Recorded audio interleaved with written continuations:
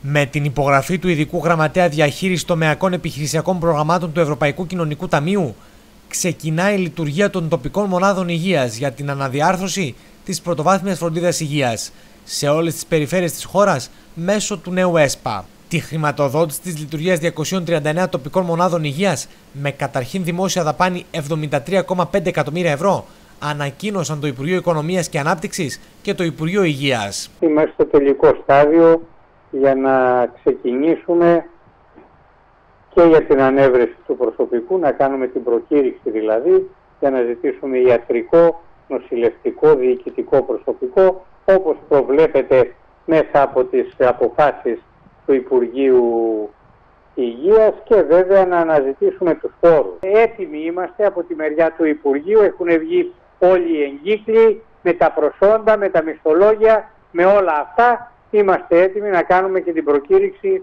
του προσωπικού. Κάθε τοπική μονάδα χρειάζεται 12 άτομα. Το ανώτατο. Οι μονάδες υγείας θα στελεχωθούν από περίπου 3.000 οικογενειακούς γιατρούς, γενικοί γιατροί, παθολόγοι, παιδίατροι, καθώς και από άλλους επαγγελματίες υγείας, νοσηλευτές, κοινωνικούς λειτουργούς, επισκέπτες υγείας. Αυτές οι μονάδες θα αποτελούνται από τέσσερους γενικούς γιατρούς ή παθολόγους, ναι. έναν παιδίατρο, δύο άτομα νοσηλευτικό προσωπικό, δύο άτομα διοικητικό προσωπικό, μία κοινωνική λειτουργό και δύο άτομα ε, με, και δύο ΜΕΕΣ.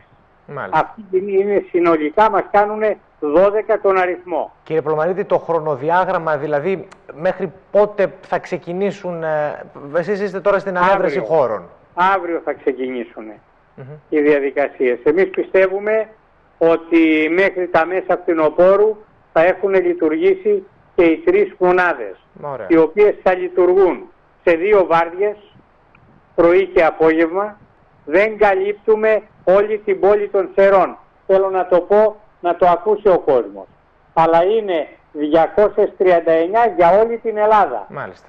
Δεν καλύπτουμε όλο τον πληθυσμό, καλύπτουμε το 1 τρίτο γύρω στα 2,5 εκατομμύρια τα υπόλοιπα θα γίνουν σταδιακά όπως είδατε και στην εξαγγελία θα πάμε και στην κάλυψη όλης της Ελλάδας. Για τις αίρες βάσει του σχεδιασμού προβλέπονται τρεις τοπικές μονάδες υγείας εντός της πόλης, όπως αναφέρει ο διοικητής της 4ης ΥΠΕ, Ευστράτιος Πλωμαρίτης.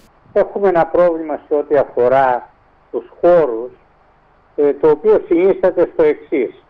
Ο Δήμος από τη μεριά του ε, μας είπε ότι δεν είχε χώρους, να μας διαθέσει δημοτικούς χώρους. Ε, είχε κάνει ένα σχεδιασμό, εντάξει, το σεβόμαστε αυτό.